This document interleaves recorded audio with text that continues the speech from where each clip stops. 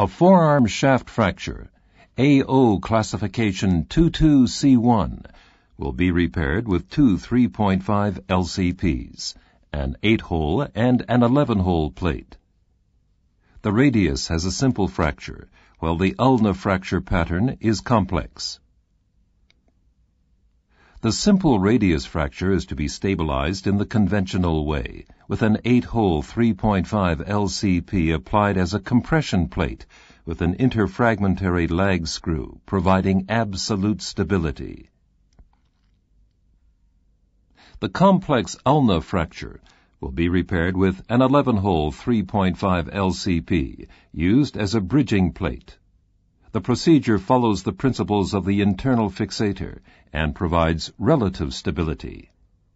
The combination holes allow the same plate to be used for different techniques. For the conventional technique, standard 3.5 mm Cortex screws will be inserted in the dynamic compression part of the hole. Wide angulation of the screws is possible. For the bridging technique, Bicortical self-tapping locking head screws will be inserted into the threaded part of the plate holes to provide angular stability.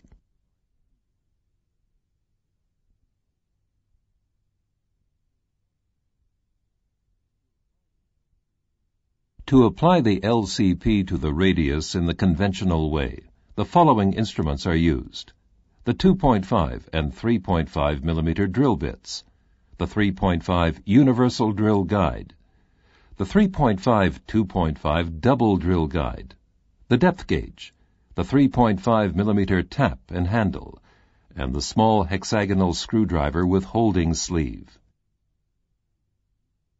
The eccentric and neutral pre-drilling for the standard screws has to be carried out with the Universal Drill Guide. To pre-drill eccentrically, the universal drill guide is placed at the edge of the dynamic compression portion of the combination hole. To pre-drill in the neutral position, the universal drill guide is pressed into the hole, revealing the telescopic inner sleeve. To apply axial compression, the first screw must be placed close to the obtuse angle of the oblique fracture. When driving home the eccentrically inserted screw in the opposite fragment, the fracture will be compressed and held in place. However, if the first screw is placed in the fragment with the acute angle, the insertion of the eccentric screw will cause the fragment to glide along the oblique fracture line and be displaced. To expose the two fractures, separate incisions, one for the ulna and one for the radius, are preferred. A single incision would need too much dissection. The radius is slightly curved, so the plate must be contoured. The bending template helps to obtain the correct curvature. Choosing an 8-hole LCP requires that the appropriate plate hole already be selected for the interfragmentary lag screw that will be inserted across the oblique fracture.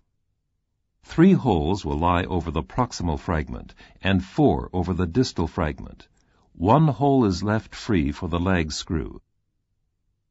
The first screw hole is proximal to the fracture and close to the obtuse angle. It is drilled neutrally with the 2.5 millimeter drill bit through the universal drill guide. The screw length is measured with the depth gauge.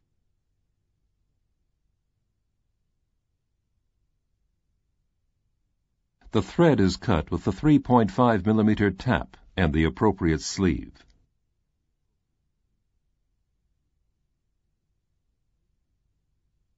The plate is fixed with the first 3.5 mm Cortex screw.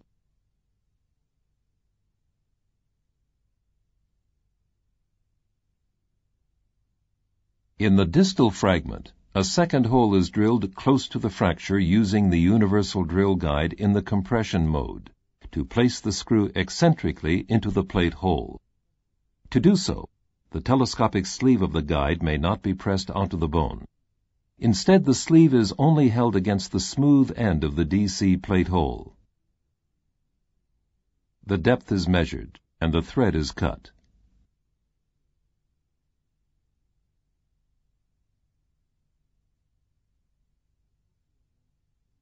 The appropriate length 3.5 mm screw is inserted. By driving the screw home, axial compression is created.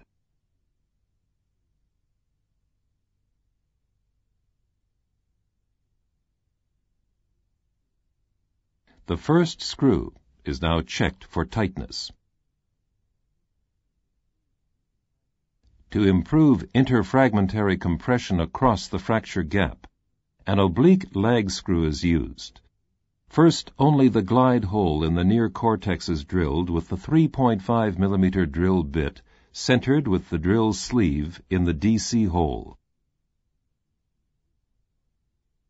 The 2.5 drill sleeve is inserted into the glide hole and a 2.5 millimeter thread hole is drilled in the far cortex.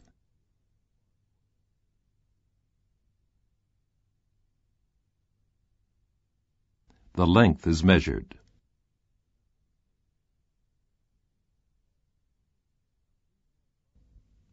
A 3.5 millimeter thread is cut in the far cortex only.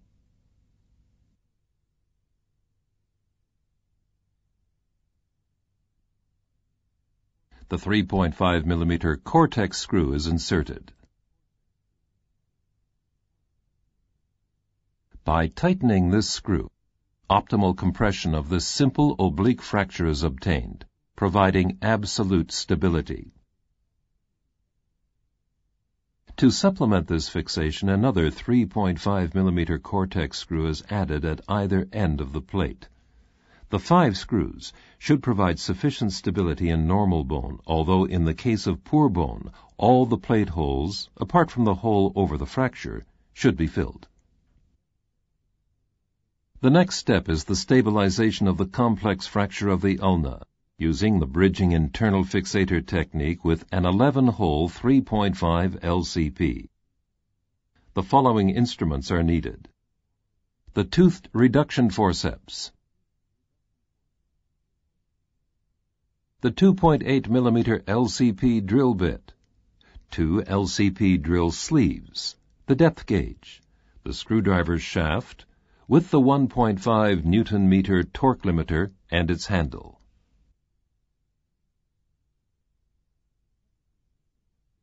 Because of the intermuscular membrane between the radius and the ulna, an approximate reduction of the length and the alignment of the ulna will have taken place during the fixation of the simpler radius fracture. As a rule, the plate does not have to be contoured to the straight shaft of the ulna. In the exercise, the plate is fixed to the distal main fragment with reduction forceps. In a clinical environment, the plate may be inserted subcutaneously with the help of the LCP drill sleeve leaving the fracture area unexposed. Bicortical locking head screws are inserted into the end holes of the plate. These two screws still allow limited correction of the axial alignment, but no correction of the length or rotation. The threaded drill guide is carefully inserted into the corresponding part of the combination hole.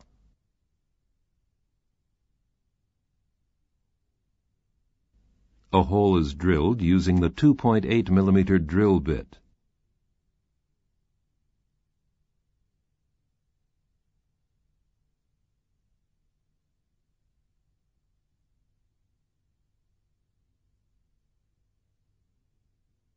After removing the drill sleeve, the length is measured.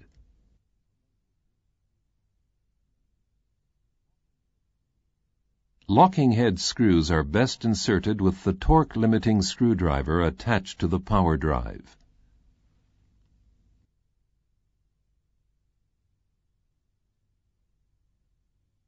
However, the last few turns must be made by hand to prevent over-tightening the screws in the plate holes. At this point, if the other end of the plate is not well secured, the helicopter effect may occur. Before completely tightening the first screw, the plate is fixed to the bone using the most distal plate hole in the same manner.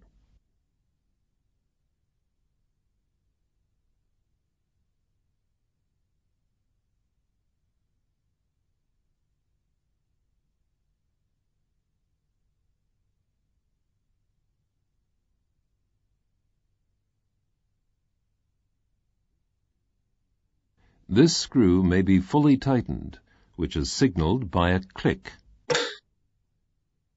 The first screw is now fully tightened, again until a click is heard.